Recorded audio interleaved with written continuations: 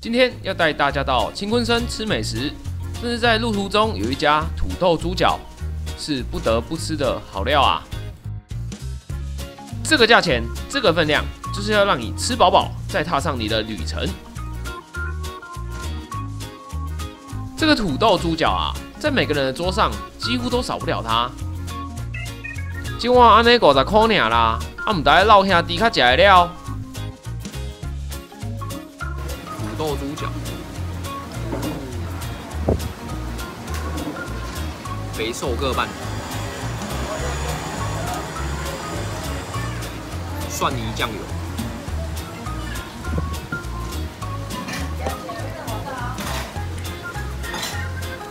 特地开车来吃都值得。就我们刚才看到的猪血汤，那猪血汤满满的料才五十块啦，受不了。猪血很脆口，一样。特别来吃都值得。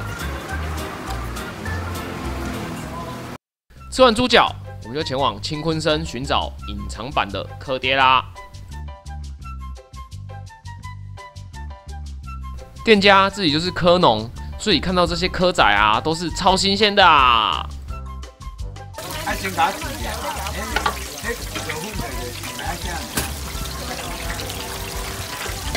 蚵爹好吃，就是因为它有。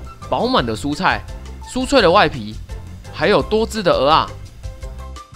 如果不喜欢吃鹅啊的，还有花枝爹哦。吃太饱，赶快走走运动，消化一下。不过看到这二十元的冰淇淋，只好拿出我第二个甜点味了。满载而归，只要五十五块啦！芋头冰淇淋非常的绵细。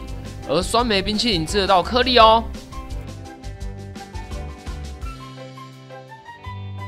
吃饱喝足，就用这美丽的夕阳跟大家说再见。记得喜欢我们的影片，帮我们按赞、分享，还有订阅我们的频道哦。